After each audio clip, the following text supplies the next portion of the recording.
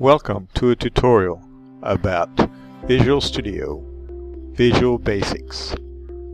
Today we are looking at how to save a file as well as how to draw lines using Visual Basic.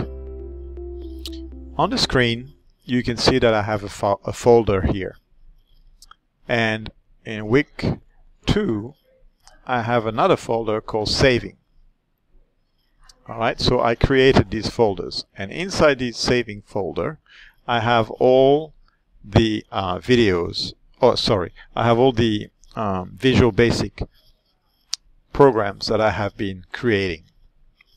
So with this in mind, we're going to File, we're going to open a new project. First of all, make sure that you have a that you are using Visual Basic then Windows Form app. And next what we're doing is we are saving this folder but we are not sa saving it in chart multiple which is basically my um, I'm saving it under saving. This is the folder where everything goes. And then I give it a new name. So in this particular case we'll call it line and save. Right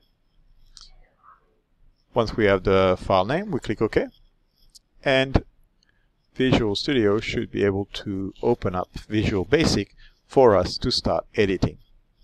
Because we're using, um, because we're going to learn to draw a line, we don't really need the form here. Instead, what we're going to focus on right now is to go into your properties, and you have some icons at the top here. We're going to the icon that looks like a lightning bolt, is titled Events. We click on it. As you can see, all the options are in alphabetical order. And what we need to do is go down to Paint. We double click on Paint, a title arrives or appears, and here we are on our form. So how do we draw lines using Visual Basic? Let's give us some space. We are in Paint and we need to code. So basically we need to say, look, we're using graphics today, right? And what we want to do is draw a line. And to draw a line, we need pens. And in this case, I want a black pen. Then we need to give it some coordinates as to where the line begins and where the line ends. So here we're going to say we want to start at 25 points across and comma and then 50 points down from the top line, comma. The line is to go all, you know, to go to the next point, 25, and the distance or the length of the line is to be 150. Now this should create a vertical line. Next we're creating the horizontal line. So we will type the same thing. Graphics draw a line. We need to choose a pen and we need to give it a color and some coordinates. So 40, 20, 80 and 20 again. This should create a horizontal line.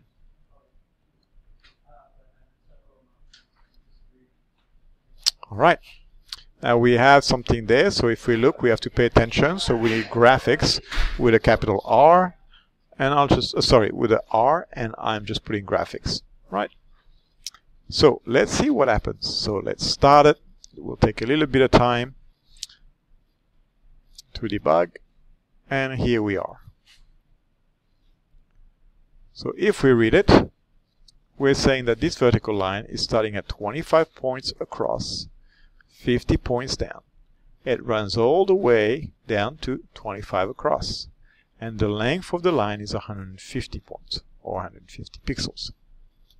If we're lo looking at a horizontal line, we're starting at 40 across and 20 down. We're going across 80 points. We're going down 20 points. So the 20 and the 20 points there are uh, the same coordinates, which means it's a straight line. So now Let's imagine we want to make a thicker line. How do we do that? The first thing that we need to do is explain to the software that we are creating a pen.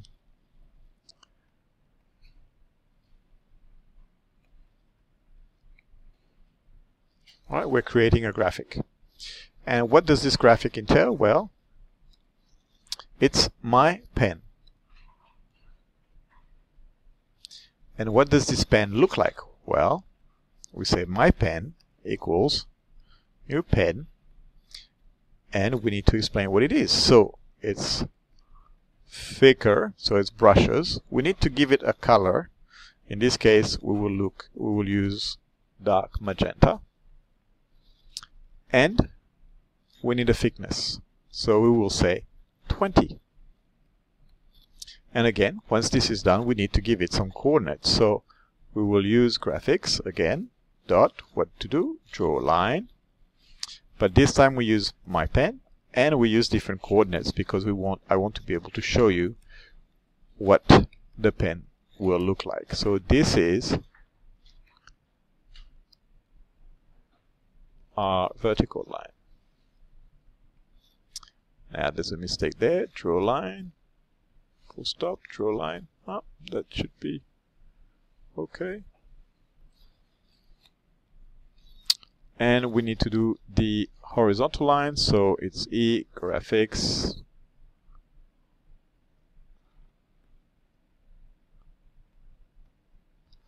And here we will start at 80 20 60 20 right and here we are so let's look at what our new lines look like there is an error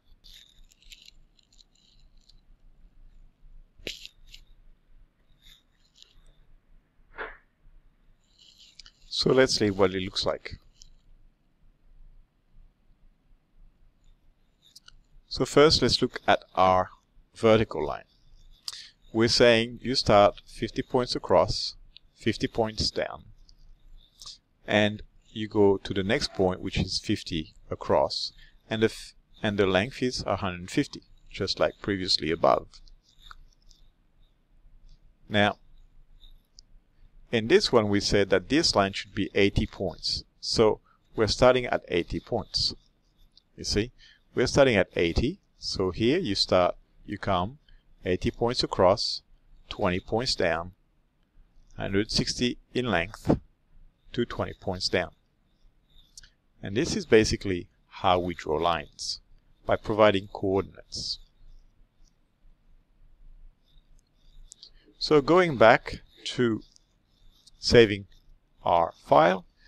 I've created my file in here in the folder. Now what I need to do is simply save, save form 1b, save it again if I wish to.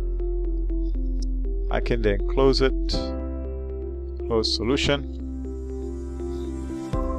and I can open my project by going to my desktop, my folder, saving, and we should have line and save. And here we have the SLN. What we have is our codes that we use. Now, remember we didn't really use a form, right? But if I run this again,